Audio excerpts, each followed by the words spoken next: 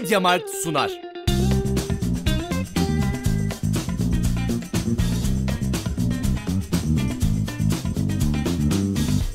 Stephen Colker neredeyse her maç oradan böyle asist yapıyor. Ancak Alanyaspor Galatasaray karşılaşmasında Galatasaray'ın yediği gollerinden birinde sanki Stephen Colker orada hiçbir asist yapmamış gibi Galatasaray takım savunması kötü bir pozisyon almıştı. diye Giriyorum bölüme. Ee, şimdi şöyle Galatasaray'ın da dünkü yenilgisi üzerine bakıyorum. İşte rotasyon oyuncuları e, ya rotasyon yapılması üzerinden konuşuluyor. Oyuncular değişikliği vesaire. Ama bunlar bahane değil yani. Alanya Spor'da birebir Süper Lig 11'e çıkmadı. Kaan normalde oynamıyor. Onur normalde oynamıyor.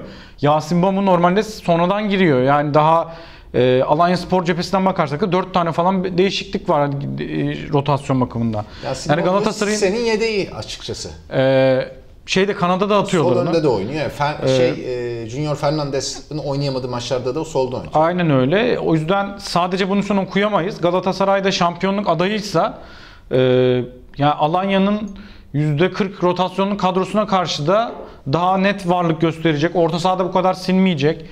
E, hani tek tek üzerinden de konuşabileceğimiz oyuncular da var ama toplamda kötü bir sınav verdiğini bir kere baştan söylemek lazım. E, işte bazı oyuncular oynarken e, kulübedekiler badem gözlü oluyor. İşte bu Bazen Taylan için geçerli oluyor. İşte Belhanda geçen maç oyuna girdi. iyi oynayınca kardeşim seriden daha iyi seri oynasın noktasına gelinebiliyor bir maçta. Geçen maç sonradan girmedi de 11'de Ge- başladı. Seriden Hayır. daha iyi oynadı geçen maç. Ligde Kayseri maçında. Yanlış ifade ettim o zaman. Geçen maç o şey Yardımcı olun. Sonradan derken hani oynamıyorken 11'e girdi Tamam, de söyledim. Yardımcı olun daha. Eyvallah diyorsun? tamam. Ali yani bir maçta yani. ya belli ki yani bu tek yani Fatih Terim de ne bileyim ya ben bu Taylan oynatmayayım da ne yaparsam yapayım. Şunu yapayım ya Belhanda'yı da ki- koyayım seri keseyim. Yani adam o- Belhanda'yı oynatıyorsa da oynatmıyorsa da Taylan'ı oynatıyorsa da 6-8 içinde oynatmıyorsa da bir sebebi var yani Be- görüldü ki Çünkü sayısal açıdan Oyun- merkez orta saha sayısı az Galatasaray'da şu anda. Ee, yani seride uçuyor kaçıyor demiyorum ben. Ta- elbette e, eksik tarafları var. E, iyi yapamadığı şeyler var. Geçmişine göre oranla özellikle. Bunlara bir şey demiyorum ama bu takımda görülüyor ki e, Galatasaray'ın 14-15 tane aynı seviye oyuncusu yok. Bayağı e, 10 tane falan iyi performans veren oyuncusu var. E, ondan sonrası biraz dalgalı. Yani kimin ne zaman form tutacağı belli olmuyor, kimin formda olduğu belli olmuyor. O, o oyuncunun ismine bakarak oynaması gerekiyor demek o kadar kolay bir şey değil. Taylan'ın da e, geçtiğimiz e, iki ay içinde bulduğu bazı şanslarla arttırdı biraz biraz biraz elde ettiği krediyi harcadığını düşünüyorum. Gerçekten çok kötü bir sınav verdi. Ee, ya bu kupa, kupa maçlarının en büyük şeyi e, vesilesi normalde e, hani oynamaya yakın ama e, Alternatif oynayamıyor. oyuncular, Alternatif yedekli oyuncular. alternatif oyuncular. Ben e, 11'in vazgeçilmez parçası olabilir Ha, mesajı verip ben vermemesi. önümdeki rak- rekabet ettiğim arkadaşımdan daha iyi olabilirim hocam deme maçları bunlar. Hiçbiri demedi. Belhanda ben seriden daha iyiyim demedi. Taylan e, ben Emrak Baba'dan Belhanda'dan seriden daha iyiyim kesinlikle demedi. E, Jimmy de problemliydi. Jimmy benim e, açıkçası hayal kırıklarımdan bir tanesi. Ben gerçekten iyi bir bench oyuncusu olacağını düşünüyordum.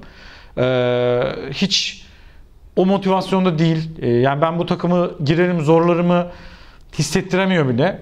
E, o bakımdan e, dediğim gibi beklentimin altında kalan oyunculardan biri. E, diğer tarafta bakıyorum Onur sanki hiç Alanya'nın direkt oyuncusu gibi oynuyor. Kaan direkt oyuncusu gibi oynuyor.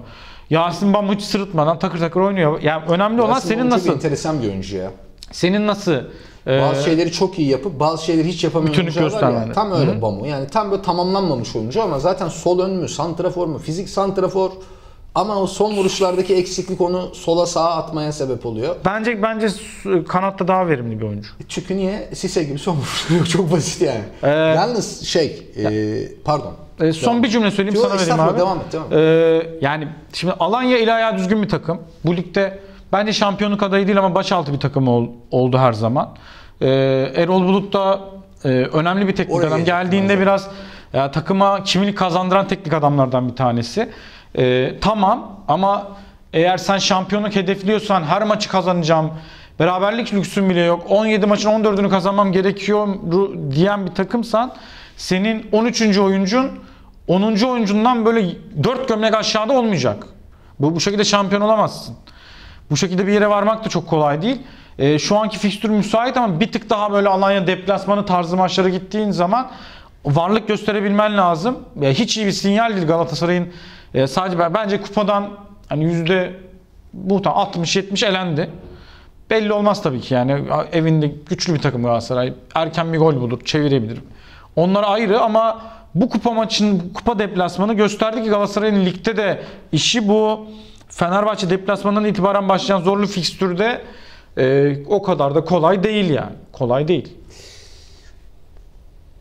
Galatasaray ve Alanya deplasmanındayken kupada Galatasaray'ın dünya futbolunun aynı zamanda en büyük efsaneden Hacı'nın doğum günüydü ve işte oğlu Yanis Hacı tam günün bitimine doğru böyle Güzel bir 5 hediye. dakika kala gecenin yani ertesi güne geçilmesine iyi bir gol attı ve maalesef galibiyet golünü attı Rangers'ın 84. dakikasında. Kendisi ne, nerede doğumlu biliyor musun? İstanbul. Bakırköy. İstanbul doğumlu. Aynen Bakırköy'de. Florya ya işte Bakırköy ilçesi. Ee, doğru başvurularla oynatabil... Gerçi şey Roman milli takım, A milli takımda oynadığı için olmaz da normalde Türk vatandaşı alabilme potansiyeli olan birisi yani. o kural değişmeseydi yani başka milli takımda oynayıp da oynamayınca yabancı sayılıyordu ya. Hani mesela Tolgay Arslan Türkiye milli takımda oynayamıyordu ama işte Türkiye'ye geldiği zaman yabancı sayılmıyordu. Şu anda hala sayılmıyor çünkü durum böyle haymatlos. Çünkü Almanya için de oynadı, Türkiye için iki kere değişti ya. Belli değil. Ama Tolgay'ın hayır Tolgay'ın belli. Tolgay Almanya milli takım oyuncusu. Ee, şunu söyleyeyim bir de Galatasaraylı. Ya şimdi bir kere hakikaten bir Alliance Spor'da konuşmak gerekiyor. Aklıma şuradan geldi yani Yanis Hacı'nın golünü gördüm. Son dakikalar açtım şu Rangers puan kaybetsin diye de yani Hacı oldu neyse hadi bakalım. Gerard varası oldu yani babamın oğlu olsa hani Gerard yani var. Ama aklıma geldi. Bundan 10 sene önce Erol Bulut Gerard'dan daha başarılı teknik direktörlük performansı sergileyecek deseler ne derdin? Olabilir derdim abi nereden bileyim. Olabilir Teknik der. direktörlük ya sonuçta. O zaman Gerard- nasıl böyle bir kral statüsündeydi yani? Ya kral da her kral içindeki şey olmuyor ki abi. zaten. İyi, acayip Maradona- hoca olmuyor ama yani. bak Erol Bulut diyorum. Hani Erol Bulut şimdi Fenerbahçe'ye ilk geldiği zaman gençken Almanya'da önemli bir çıkış yaptı. O zaman Türkiye'de yine sol bek sıkıntısı vardı. İyi sol beklerden bir tanesiydi Abdullah Ercan. Sonra kim vardı Türk olarak? Abdullah Ercan. Sonradan bir Hakan Ünsal çıktı. Hakan Ünsal Galatasaray'a ilk geldiği zaman Karabük'ten böyle defansif orta sahaydı Yani merkez. Ergün Pembe de orta saha kökenli Ergün'den ama ofansif orta sahaydı Gençler Birliği'nde. O da sonra sol bek. Ya 8 numaraydı. Oyun kurucuydu. Has o bas nasıl bir bek olarak. Galatasaray'dı o ya. Herkes bayağı bir 4 tane falan solak vardı takımda. Evet ya. Acayipti. Ama bir de onların özelliği yani özellikle işte Ergün Pembe'nin öyle zeki oyuncu ki yani pozisyon almayı falan o kadar iyi biliyor ki mesela Ergün Pembe hızlı bir sol bek de değildi ama çok başarılı bir sol bek performansı sergilediğini söyleyebiliriz. Öyle bir çok Neyse benim söylemek istediğim şu. Erol Bulut gibi hocalar böyle kas sistemini böyle sarsan hocalar. Çünkü bir tek şimdi böyle diyecekler ki Alanya Spor'da işte başkanı güçlü birisi, güçlü birinin kardeşi var. Tamam da Malatya Spor'da da iyiydi. Yani gittiği takımda hissediyorsun. Bu Erol Bulut takımı oldu. Erol, Erol Hoca ayrıldıktan bir ay sonra bu takım Avrupa Kupalarına terfi aldı. Evet. Ee, Türkiye Kupası zaten ayrıldığı maç da Türkiye Kupası yarı final maçıydı. Malatya baş e, Malatya'da da hakikaten Adil Bey. Ben tanıştım Boğaziçi Spor Ödülleri'nde. Sempatik biri de bu teknik direktör konusunda biraz sabırsız birisi. Yani. Onu söyleyeyim yani. Adil Bey'e de buradan nacizane dostane bir uyarı. Şeyi söyleyeceğim ama şimdi bak. E, Kolkır zaten iyi oyuncu. Ama hani Liverpool'da kiralık oyundu biliyorsun bir ara. O öyle bir stoper krizi vardı hatırlıyor musun? Kol kırılır yerin içine kalır diyebilir miyiz? Çok, çok iyi ya. Güzel. boynuz, Yok, boynuz güzel, kulağa geç. Tam Ali senden beklediğim bir Yok laftı. ya çok iyi. Ben. Yok. Emre Gönlüşen oğlum benden değil. Emre Gönlüşen bu işlerin piri. Emre Gönlüşen ne dedi biliyor musun? Bir Bursa Spor'a geldiği zaman bakan bu. Cedric Bakan bu. Bakan bu sefer nasıl oynayacak dedi. Lan burada tamam o zirveydi yani. Neyse tamam cıvıtmayalım. Sonra fırça yiyoruz yorumlarda. Tamam yok canım önemli değil. Yani isterse aslında Emre Gönüşen benim en sevdiğim arkadaşlarımdan bir tanesi. Tamam izleyicinin her birine kıymet veriyoruz da Emre de hep aklımıza geliyor yani. Tekrar acil şifa diyoruz. Acil şifa Emre'nin durumunda akrabaları olan bütün izleyicilerimize de tabii. Yani orada bir farkındalık oluşturmaya çalışıyoruz. Neyse. Şimdi Junior Fernandez zaten ligin iyi oyuncularından bir tanesi. Ama bak şimdi mesela Kolkır'ı hücumda da çok iyi kullanma. E, teknik direktörlük başarısını gösterdi yani. Hakikaten Tabii. çalışılmış pozisyonlar. Ya 5 maç 5 5 asist oldu ya. Ya duran top tamamen çalışma işi, planlama işi Kesinlikle, ve kesinlikle. orada fark yaratmak çok değerli. Bak Leicester'da mesela Leicester'dayken Çağlar kardeşimizden önce dünyanın parasına Manchester United'a giden baba ne oldu? Leicester'da takır takır atıyordu. Geçen sene Liverpool'a atmıştı. Ne oldu? Manchester United'da hiç var mı böyle duran toptan falan şöyle bir organizasyon bilmesi? Niye? Leicester'daki kadar çalıştırılmıyor pozisyonlar. Bununla alakalı bir şey. Brandon Rodgers Liverpool'un hocasıyken o kadar duran toptan gol yedi ki.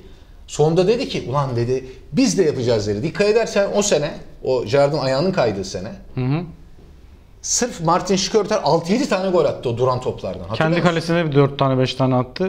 Dengeledi. İşte Hull City maçı var tabii. Hull City maçında attığı numune bir goldür yani. Kötü anlamda efsane bir goldür. Neyse. Söylemek istediğim yani hakikaten çalıştıracaksın. Ya şimdi adam hala mesela tamam Leicester City'den Manchester United'e gitti. Van Dijk'ten daha yüksek bonservise gitti ama abi yani onun gelmesiyle bütün takım düzelecek diye bir şey yok.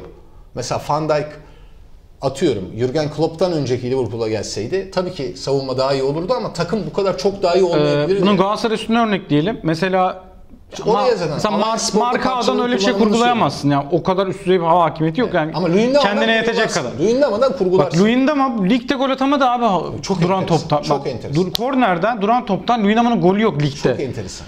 Ki Luyendama'nın yani kapasitesi en az her sene 4 tane 5 tane atacak kapasitesi var bence. Ligde. Kafa golü sadece. Ee, onu görememek biraz düşündürüyor açıkçası. İşte Maguire'ı bir daha örnek veriyorum. Hangi takıma geldiğin, yanında kimle oynadığın çok önemli. Gerçekten de Maguire Leicester City'de daha iyi oynuyordu. Beklentiler de tabii. Bonservisi de çok yüksek falan. Şimdi Alanya Spor'a bu oyuncuyla mesela Steven Colker gelip Galatasaray'daki bütün böyle duran top sorununu çözer mi? Hayır. Hayır. Luyendama varken çözemedi ki hem defansif hem ofansif. Luyendama daha büyük potansiyel. Tamam, Volker'a örnek. göre o açıdan. İşte Bakasetas Galatasaray'da Bakasetas'ı direkt 11'de oynatırım şunu doğrudan takımdan keserim der misin? Ama şunu da söyleyeyim madem oraya gel- geldi. Attığı gol diyorsun. Attığı gol ayrı da ya bir Alanya'da mesela senede bir olacak gol var ya onu Galatasaray atıyor İki abi. attı. Senede iki attı o. Ya senede iki geçen sene de Calma ben hayatta böyle bir gol görmedim Evet, yani. Çok acayipti o. İnanılmaz bir Calmadan gol. çok beklemiyorsun. Hadi yine şey, Şey gibi lan böyle Tsubasa'nın vuruşu çıkıyor gök, göklere duruyor. Pış diye yine öyle. O tarz bir gol Onu olmuştu. böyle Calma'dan beklemiyorsun ha mesela. Junior Fernandes'ten bekliyorsun. Yetenekli adam hani. Çok da iyi. Mesela Donk'un vuruşu da. Drive Don- şutto diye bağırıp vuruyorlar Donk'tan böyle falan. bekliyorsun onu. Bakasetas, Junior attığı gol var ya kontrol Calma. uçarak vuruşu. Bekliyorsun. Donk öyle birisi. Topla maharetli bir oyuncu. Ama mesela Bakasetas'tan beklesen de Bakasetas girmeden önce de illa bana her şeyde itiraz edecekti ya Berkay Efendi, Serdar Ali Çelikler'in gizli Var. Ajanı. Küçük Varisi. ortağı. Küçük ortak. Hayır küçük ortak o. Devamlı Serdar Ali yok ya onun vekili. Altay'ı kötüleme fonu kurdular ikisi. Abi siz Altay. ne Neyse. çekiyorsunuz ya pazartesi günleri ben anlamıyorum. Geliyorum Ben çok çekiyorum. Çok çile çekiyorum bunlardan. Programda Bir- sürekli bunu dedikodusu dönüyor. Bunlar iki Ben de kişiler. hani- Bunlar 5-6 kişiler. Bazen izliyorum bazen izleyemiyorum. Ya benim benim böyle avukatım geldi Ebrar. O da diyor ki oradan kaş göz. Vallahi Serdar Ali abi haklı Ali abi diyor. Niye? O da Fenerbahçeli ya. Ben de dedim ki bunlara. Ama sadece üçüne. Kalan Fenerbahçeli değil yanlış anlamayın. Ulan kalenize yarım saat karius geçsin de görün bakalım nikahınızı dedim. Yani neyse şöyle devam edelim. Galatasaray bölümünü kapatıp Bakasetas'ta kalecinin biz. yapabileceği hiçbir şey yok. Aslında böyle Bakasetas'ın asıl ayağı o değil. Bakasetas uzaktan iyi şutlar atan bir oyuncu ama o ayağıyla o şekilde vururken ilk kez görüyorum. Top gerçekten ayağına yüzde yüz oturdu. Evet. Ya böyle bir oturma olmaz. Ben sana açıkladım dedim abi işte zaten Calman'ın golü olduğunda iş belliydi zaten yani. Bana bilimsel gel. Bunlarla gelme ya. Ben bilimsel veri işte bak. Ben sana bilimsel 10 yılda olacak gollerin gollerden 3 tane attılar Galatasaray yani. Yine de İnanılmaz bir şey. diğer golde Steven Colker'ın indirdiği Tabii, asist yaptığı pozisyonda Galatasaray Steven Colker'ı çalışmamış bu maç. Ya da çalışmış oyuncular sağ içinde Okey, uygulayamamış tamam. nokta. Nokta. Diyoruz. Diğer bölüme geçiyoruz. Geçiyoruz. Media Markt sundu.